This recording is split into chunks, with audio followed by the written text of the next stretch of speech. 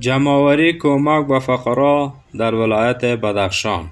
همچنان خبر عاجل و فوری که همین اکنون به دست ما رسیده است شش طالب در ولسوالی فرخار ولایت تخار کشته شدند و نقل از جبهه مقاومت ملی. به نام خداوند بخشاینده و مهربان سلام وقتتان بخیر. به یکی از ویدیوهای دیگر از این کانال خوش آمدید. تقاضا می تا پایان این ویدیو با ما همراه بودم و این کانال را نیز subscribe نمایید. در ادامه مشروح خبرها.